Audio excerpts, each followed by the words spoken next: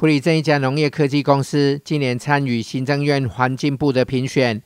荣获第九届国家环境教育奖，并且前往总统府接受副总统肖美琴的颁奖，成为普里之光。伫咱台一吼，诶，这个努力之下吼，其实这几年吼，伫咱这个啊友善 友善农业啦吼，啊是咱碳足迹的这个表现吼，会使讲啊可圈可点，而且得到咱。啊，国家最高的这个啊环境教育奖，这个吼啊实至名归吼，而且啊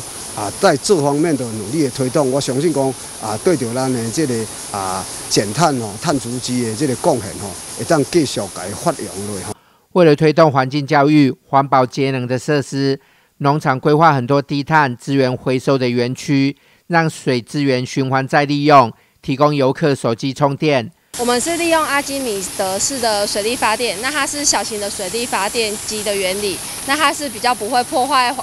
环境的一个部分。好，那我们在这边呢也有提供像这样的 USB 的充电的部分，就可以让客人啊手机没电的时候，我们就在这里充电。那我们可以放下手机，然后听听水流经过的声音，让心灵获得平静。那我们在园区导览介绍的过程中呢，我们就也会跟小朋友提倡说，哎，像我们阿基米德的原理呀，它是利用螺旋式的原理，那造就的水力发电，好，那这也是最不会破坏水土保持的一个部分。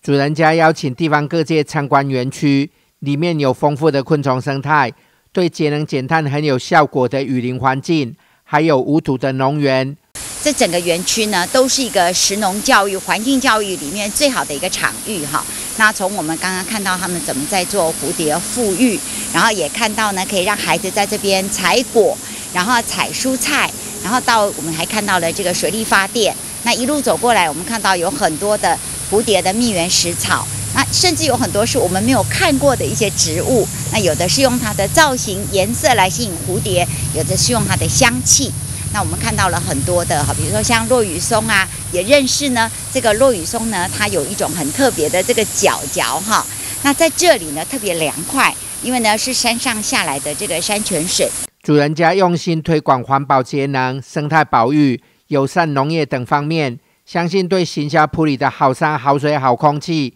有正面的教育意义。记者范宏坤南投县采访报道。